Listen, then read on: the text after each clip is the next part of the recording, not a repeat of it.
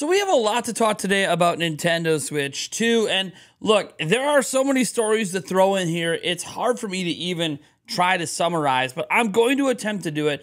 Uh, first up, we have some updates on the screen being reportedly used for the Nintendo Switch 2, coming from a very reputable place that actually has a history of being correct on these things based on their job. It's actually quite fascinating because they were right about something that had to do with the Nintendo Switch itself.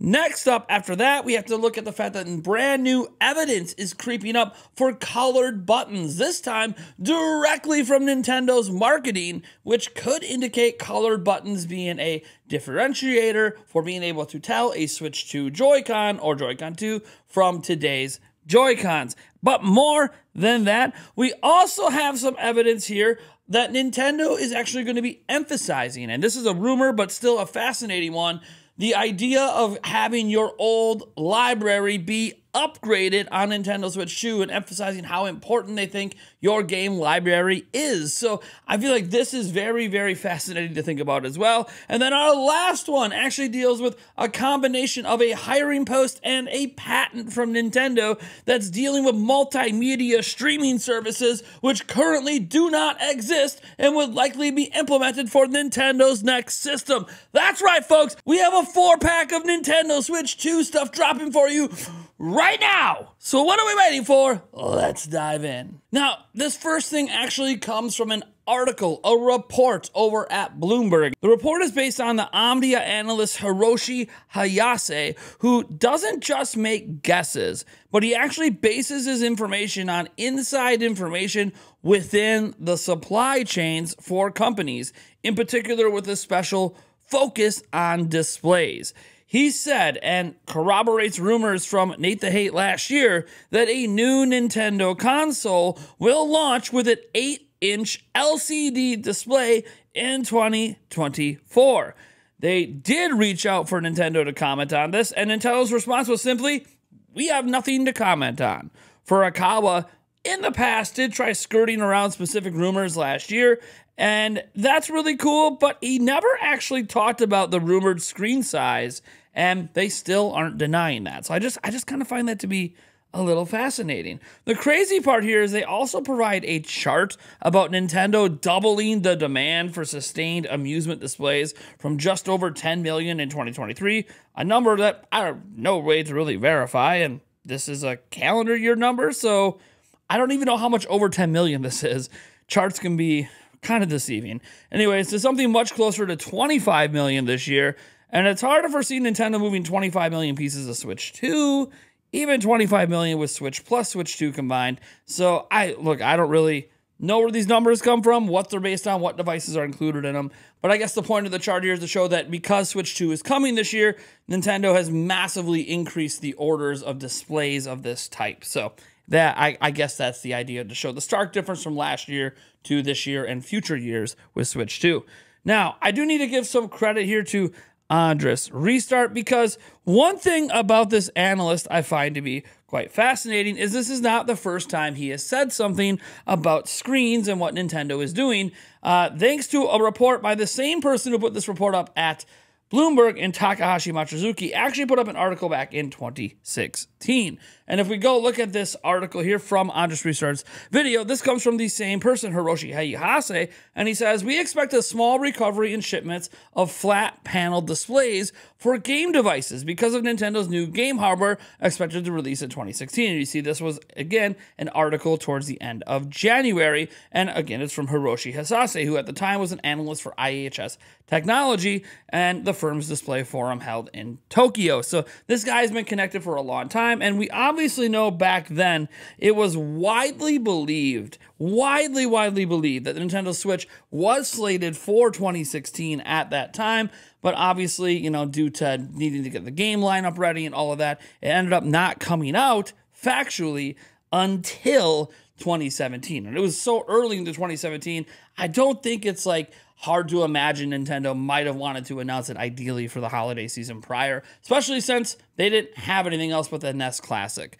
Anyways, that's neither here nor there because look, this is really cool, and the idea of an 8 inch display has been out there for a while. Uh, the last time we talked about this, in fact, it was talked about how the display could be 1080p, which would obviously be a nice increase from 720. So I do think that that is really, really good. So I am excited about that. And I'm also excited about this next thing we're going to talk about with Nintendo Switch 2 because while this is still widely believed to be speculation and rumors, and you know, I don't even know, maybe not even rumors. This is more so on the speculation side. Is We've been talking about the color button theory for a long time. I know a lot of people have been theorizing about it across the internet as colored buttons have started to appear in third party games, Nintendo first party games, etc., in the second half of 2023. And now we have some more evidence that was discovered by Nintendo Leaks, but again, because of the language barrier, I don't understand their videos, but Andres Restart does. And if we go over and look at his video, we can see in one of Nintendo's marketing videos, for Nintendo Live, we can see an X button that's blue, a B button that's yellow, an A button that's red. That's right, we are seeing the SNES colored buttons appear in Nintendo official marketing. That is obviously fascinating and just adds to the color button theory that maybe Nintendo is slowly, subconsciously trying to get us used to this idea of color buttons. So we start to make this association to a new system that they are going to announce this year that might feature colored buttons. I don't really care about color buttons overall, if I'm being honest, but it does add a little bit of character and flavor, and I'm not against it. I mean, I got nothing against colored buttons. Uh, we've had color buttons on the Xbox controllers for a while as well. So, hey, I'm all for it if I'm completely honest. Now, we're not done with Switch 2. I mentioned we had four different things to get into. So, what if I were to tell you that there's a new rumor out there talking about backwards compatibility and enhancements that will just be there for your back catalog? Well, here we go over to Nash Weedle, who has sort of referenced this stuff in the past of Bayonetta uh, and being able to, you know, put your old Bayonetta games into Switch 2 and get enhancements. But that was like a specific case. This is sounding like it might be more broad strokes across the entire medium. Here's what he tweeted out. Now, again, still a rumor. And Nash Weedle, you can see right here, this is where he is on my uh, rumor believability scale. He's not in the wishful thinking category, but still sort of questionable. For a lot of things he has said to bear fruit beyond the Metroid Dread stuff. But getting into what he said here with the translation, it says it seems that a large part of Switch 2 marketing campaign is to emphasize from the beginning and in a very persistent way how your games will look on the new console. So they're going to be emphasizing visuals, which is very unlike Nintendo, but this is a new president. So I'm not opposed to this, especially if it's an iterative system. You got to be able to mention something marketing wise. And you'd be like, this is why you get it. And maybe visuals and visuals enhancements are the way. Anyways, he also says they will give importance to the user's catalog, which jumps generations and elevates their experience. Let me read that again. Again, just a rumor.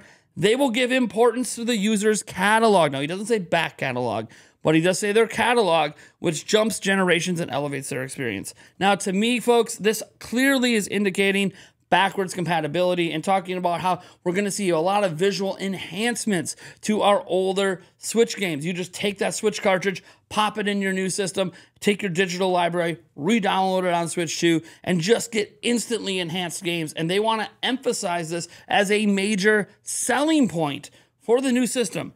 That is something that I do agree with in many regards and think Nintendo could actually do as a major selling point for the system. Look, we obviously have had enhanced games on, you know, Xbox and PlayStation, but not to a massive degree and not just something where the user doesn't have to think about it or make extra purchases.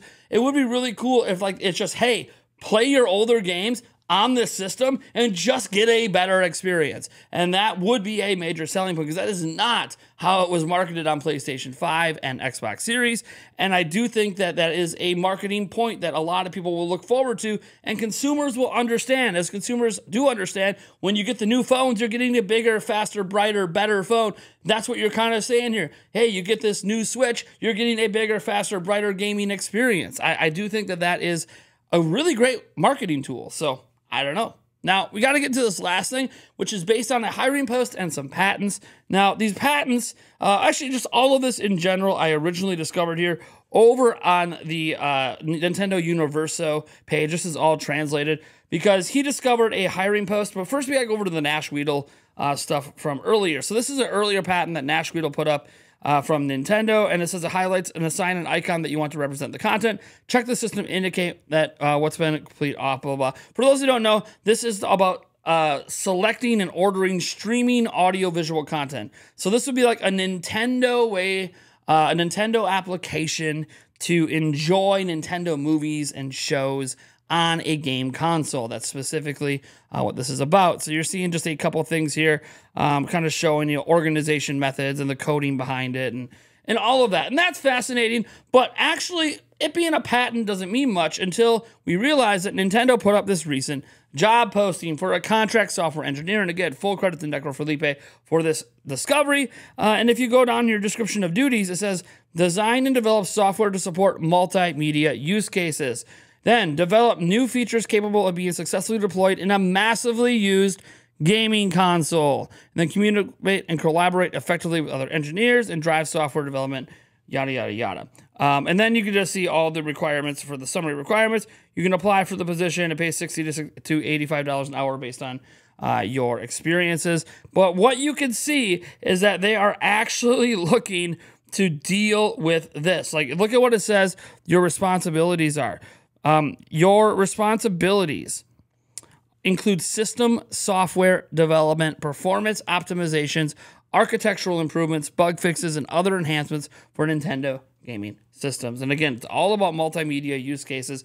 This kind of supports that patent we saw where Nintendo might be looking to create their own streaming, I want to say a service, uh, but their own I don't know. It's almost like a Netflix for Nintendo, a Nintendo Flix. It could end up being a streaming service. It could also just be part of Nintendo Switch Online, uh, but a way for us to watch things like the Mario movie or the Pokemon animated series of movies, uh, Detective Pikachu, the upcoming Zelda movie. Maybe Nintendo's trying to make this multimedia empire. Maybe we can watch the old Zelda cartoons and the old uh, Captain N stuff. Like maybe Nintendo's going to gather this all together and just offer a streaming service for it exclusive to Nintendo platforms.